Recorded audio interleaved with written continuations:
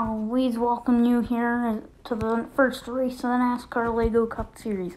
See Christopher Bell and Cole Custer, both rookies on the front row. Will that be any good?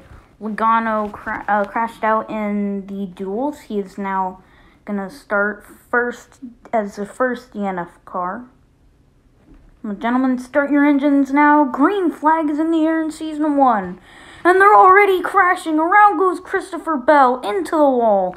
Big crash. Oh my goodness. Let's see the replay. As you see it now, they're coming now. Oh, he was just already around out of the turn. I have no clue what happened. Edwards barely getting by. Luckily, it was only two cars, none more see replay again. But we're gonna go back in the air now. Green flag, Edwards gonna look to the inside. He won't be able to get there. Coming back down in the line. Here they come. Elliott forcing it three wide. They make contact further back. Cole Custer in the lead. Oh man, Fire Field's stacked up. Here they come down the back stretch. Oh no, they're already crashing. Kyle Busch, Cole Custer. Big hit. Oh no. Custer just hit that wall right there. Must have been loose coming out of the turn. And they just hit. Oh, man. Elliott choosing the high side now. Some contact with Edwards. Here they come.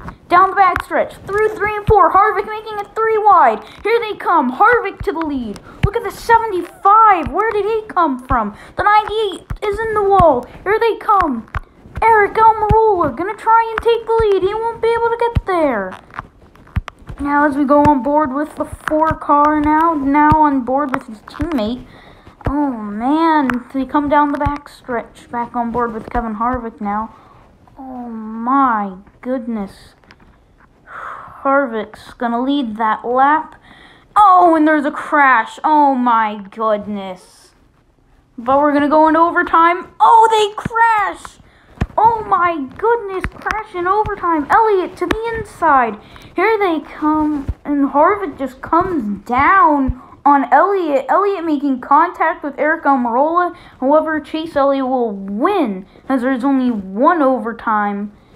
Oh my goodness, what a crazy ending to that one. As you see the finishing order now. Oh my goodness. Holy cow.